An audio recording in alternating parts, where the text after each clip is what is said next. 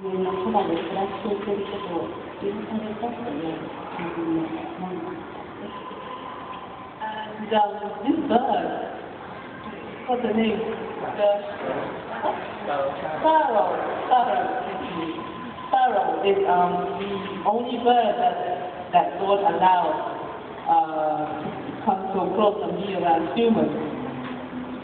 この歌には、あの、反式という、あの、 繰り返しの言葉が出てきます。 And if you listen to this song, you will um, maybe recognize, I, I will repeat this word called Hankikisi, and that is imitating the sound of the sparrow.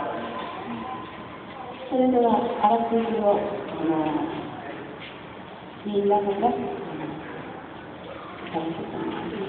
So I will keep um, translating the story bit by bit as I go along. 今日のこのあらすじは、あの、スズメが人間の食べ物をたくさん少しずついただいて、そしてたくさんしまったので、それから酒を切って神様にと共にお祭りをしましょう。そういうところから始まります。So this story begins like this. The sparrow collects from mortal food, bits and pieces of um, food lying around that we humans left around, and it gathers enough, it gathers enough food um, to have a ceremony. So it goes off to make some sake, alcohol, for the offering, and it's gonna have a party with the gods because now there's enough food to offer to the gods and enough time to make the sake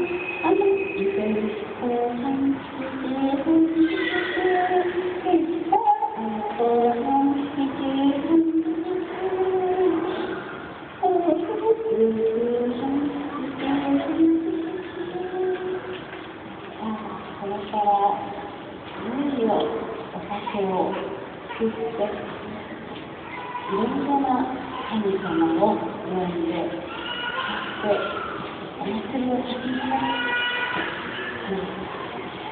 So now the sparrow will start to prepare the sake, and it's going to begin calling all the gods, all the spirits to come and join the festival. からなぜか